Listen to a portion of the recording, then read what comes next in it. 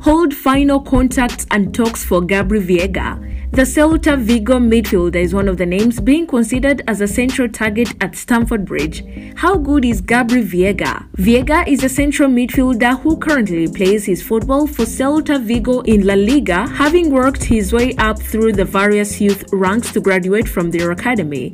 He's now become a regular feature of the first team, clocking up 55 senior appearances to date after establishing himself as his homeland outfit's second top performing offensive player last season, he's been highlighted as an ideal transfer target by Mauricio Pochettino. Rudy Galetti revealed earlier this month that the Blues are one of several clubs to have shown interest in the 21-year-old, while Jacob later claimed that a bid could have been submitted and if the following update is to be believed, the two parties may already be discussing a switch to Stamford Bridge.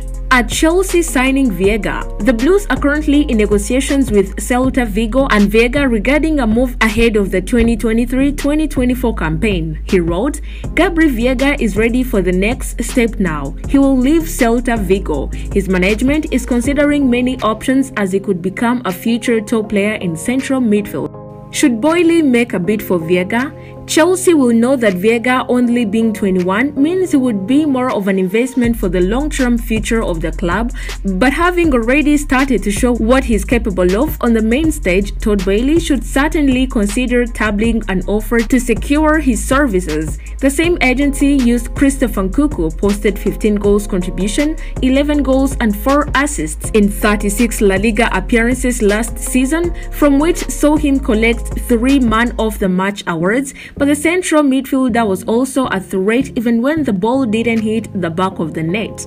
Veiga has been lauded an electric player by journalist Fabrizio Romano for his youthful pace and energetic nature. So should he put pen to paper, it would be a massive coup for Pochettino.